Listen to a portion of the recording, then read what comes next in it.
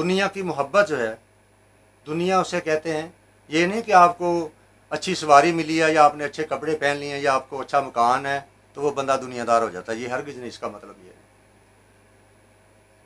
दुनियादारी होती है कि अल्लाह रसूल की तरफ़ पुष्ट हो जाए और गलबा दुनिया की चीज़ों की तरफ़ हो जाए। उन दुनियावी चीज़ों की मोहब्बत ज़्यादा हो जाए तो वो बंदा दुनियादार है। अगरचे काबे में बैठा है। तो अगर अपने घर में बैठा है लेकिन उसकी कैफियत, उसका जहन अल्लाह रसूल की मोहब्बत का गलबा हो और बाकी चीज़ें नीचे हों तो वो मोमिन हो जाता है। अल्लाह खा अपने घर में बैठा हो। किसी ने वो घर मिलता तो कोई काबियों खाली आवे। मुहासमा यही है कि हम अपनी निगरानी करें खुद, कि हमारी कैफियत ऐसी तो नहीं हो जाती। कैफियत ये होनी चाहिए कि हम ये अगर काम कर रहे हैं तो इसमें अल्लाह रसूल की नाराज़गी तो नहीं। अल्लाह के गज़ब में तो नहीं बात जा रही। उसके पसंदीदा काम कौन से हैं? वो हमने करने की कोशिश करना है। और ये है कि अपने नफ्स को इस किताबें रखना है हमने। ना कि अपने नफ्स का गलबा रखना है।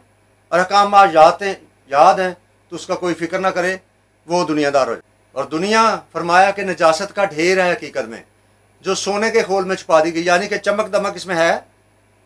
ज़ाहरी तौर पर कशिश है, लेकिन इसके अंदर जाओगे तो ये गलाजत का ढेर है। तो इस वो दलदल में फंसता जाता है, फंसता जाता है बेसकून होता जाता है हती किसी तरह मौत आ जाती है उसे। तो ये एक बहुत भयानक मौत होती है। हमने ये ख्याल करना है किस चीज़ का हमने अपने ऊपर गलबा करना है कि नमाज़ का वक्त है, हमने कहना नमाज़ हमने पढ़नी है, तेरा दिल नहीं करता करता ठहर के लेकिन नमाज़ का टाइम आखिर हो रहा है, हमने चल पढ़ नमाज़। अब ये जारी नमाज़ पढ़नी है, ये पढ़नी। बात नहीं याद है, वो अल्लाह की याद रखनी है हमने। ज़िक्र इलाही रखना है या जो भी है, या हर वक्त अगर ध्यान रहे तो वो बंदा भी ज़िक्र में ही है। अल्लाह की फ़िक्र में ही है कि उसे अल्लाह याद है।